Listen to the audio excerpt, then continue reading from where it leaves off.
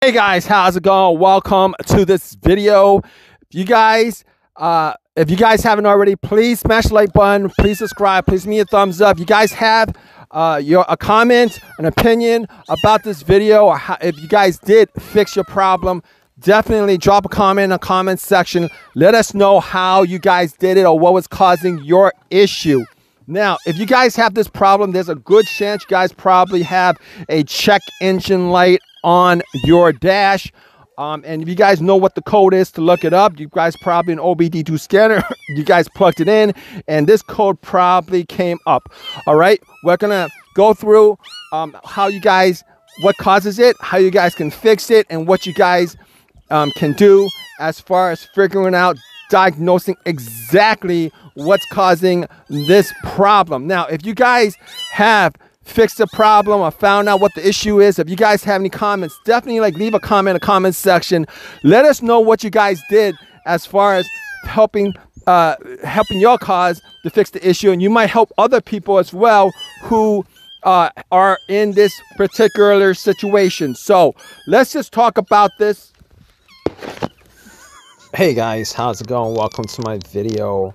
All right, so I'm gonna do this no crank, no start issue that I had with this vehicle a couple days ago.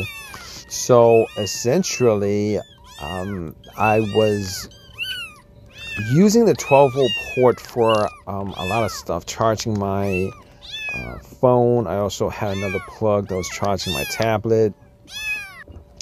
And I didn't think much of it, but I was uh, using it all day actually um, driving around here and there and um, parked at a Wendy's to get something to eat. Got a crispy chicken sandwich and some fries.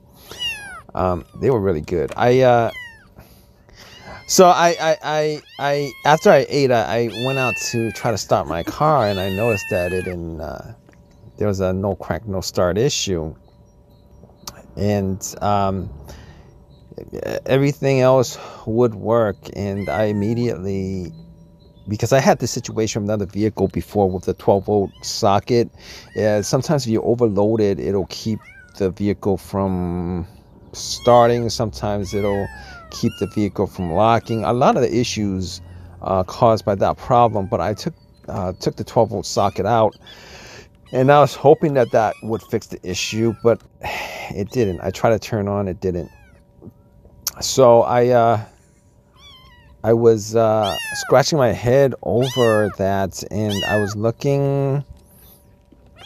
Um, I was looking, checking at the battery just to see if the ch- battery was any good, and uh, turn on the headlights to see if the lights were bright, and the lights were bright. Uh, I remember changing the battery out like a couple months ago. Bought the battery from from uh, Walmart, and uh, I didn't think it was the battery, but I, I, I checked it anyway. I looked at all the all the uh, the the both connectors, the positive, and negative, just to make sure that they were clean and tight. And they were clean and tight.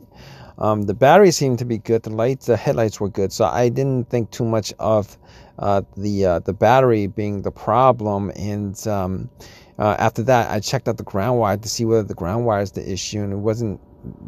You know, the ground wire was fine. It was 100% connected to the frame. There was no rust on it, anything like that and I was really um uh I, I, was really stumped by the situation really. So uh, I was thinking maybe it could be like um, maybe the starter that was the problem but uh, funny thing is I had the, the, the the starter was swapped out maybe like a year and a half ago on this vehicle. And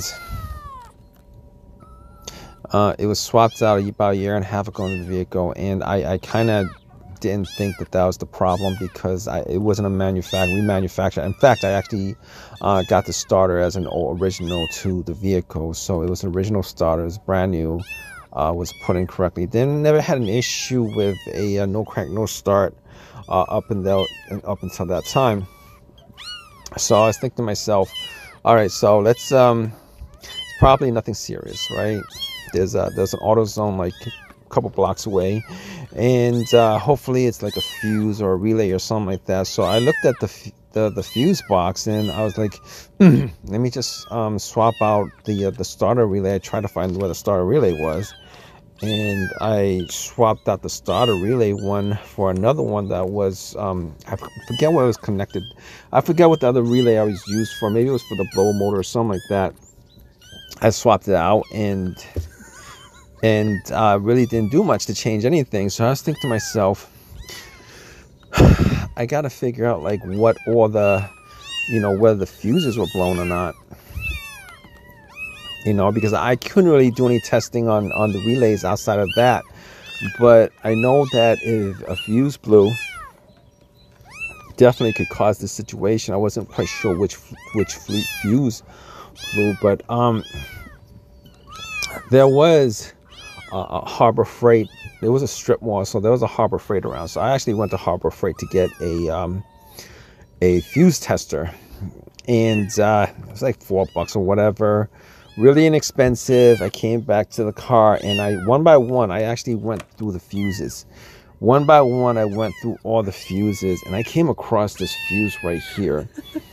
now, uh, in some vehicles, it's called the engine control module and the ECM fuse, but in other vehicles, it could be called the engine control. Um, what is it called?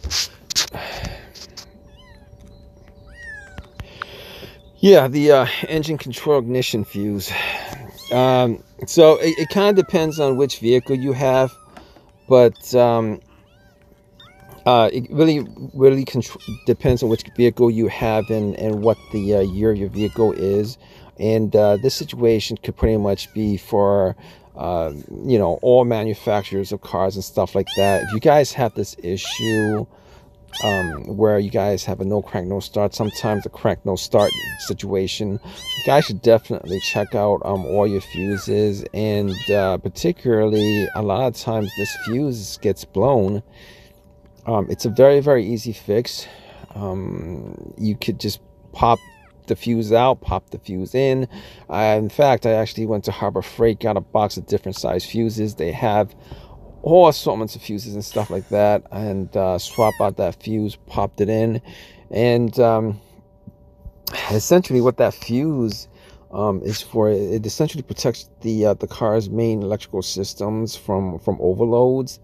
But um, uh, sometimes it's called the engine control fuse sometimes it's called the engine ECM fuse sometimes it's called the engine uh, controlled ignition fuse. It really depends on which car you have, like I said before, and which, um, uh, you know, what uh, whether your cars are recent or late models or whatever. They, they come in different names, but uh, most cars these days have ECM and ECUs, and there's a fuse for the ECM and ECUs. If you guys have older cars, it'll be called the engine control ignition um, fuse. But in any case, it's an easy fix all right if you guys have this problem uh, definitely you know run run through your fuses make sure that all your fuses are good and that uh, there's no blown fuses because a blown fuse will cause no crank no start issues it will cause crank no start issues and uh, best thing about fuse issues is um, for the most part they're e very very very easy to to fix. And uh, the causes of them could be a bunch of things. I think it might have been maybe because i overloaded the 12 volt uh, socket uh, with uh, let me see the, the the charger jack the, the the jack on it had like two usb connectors to it. And uh, i actually connected my phone and my my tablet and uh, I believe I also used a uh, one of these 140 volt uh, inverters on an, on another uh, 12 volt socket too. So th there were two of them, and I used one for that, and I used the other one for for for for the 120 volt to, to charge something else up. And uh, I I'm pretty sure that would have had like uh, you know that would have caused that that fuse to blow or, or, some other fuse to blow but that was the fuse that blew. And uh, easy fix didn't need a tow didn't need to um, do much except swap out the fuse. Uh, hopefully uh, this hopefully whatever causes your car's issue definitely um, hope that uh, hope that whatever's causing your car's issue could be this issue or could be something that's easy to fix. But uh, if you guys have your own personal um, experiences with this definitely leave a comment in the comment section. Please subscribe. Please give me a thumbs up. All that good stuff. All right guys take care. Hey guys. How's it going? Welcome to my video. All right so i'm gonna do this no crank no start issue that i had with this vehicle a couple days ago.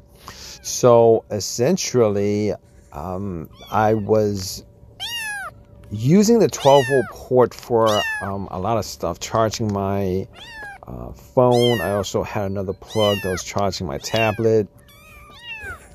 And I didn't think much of it, but I was uh, using it all day actually, um, driving around here and there, and um, parked at a Wendy's to get something to eat got a crispy chicken sandwich and some fries.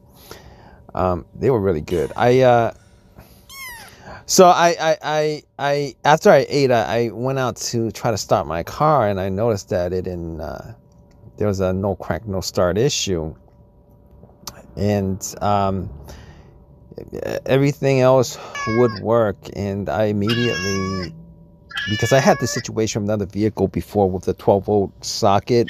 Yeah, sometimes if you overload it, it'll keep the vehicle from starting. Sometimes it'll keep the vehicle from locking. A lot of the issues uh, caused by that problem. But I took uh, took the 12 volt socket out, and I was hoping that that would fix the issue, but it didn't. I tried to turn on, it didn't. So I. Uh, I was uh, scratching my head over that, and I was looking. Um, I was looking, checking at the battery just to see if the ch- battery was any good, and uh, turn on the headlights to see if the lights were bright, and the lights were bright. Uh, I remember changing the battery out like a couple months ago. Bought the battery from from uh, Walmart, and uh, I didn't think it was the battery, but I I, I checked it anyway. I looked at all the all the uh, the the both connectors, the positive, negative, just to make sure that they were clean and tight. And they were clean and tight.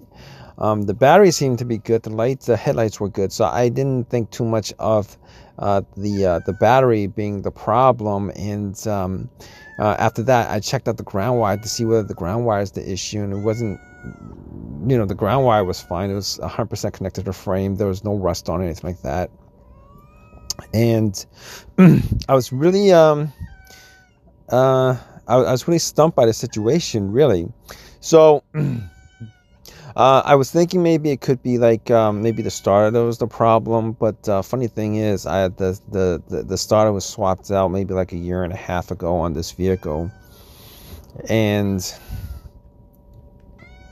Uh, it was swapped out about a year and a half ago on the vehicle, and I, I kind of didn't think that that was the problem because I, it wasn't a manufacturer. We manufactured. In fact, I actually uh, got the starter as an original to the vehicle, so it was an original starter. It was brand new.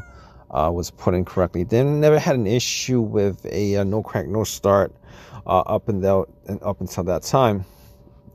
So I was thinking to myself, all right, so let's. Um, it's probably nothing serious, right?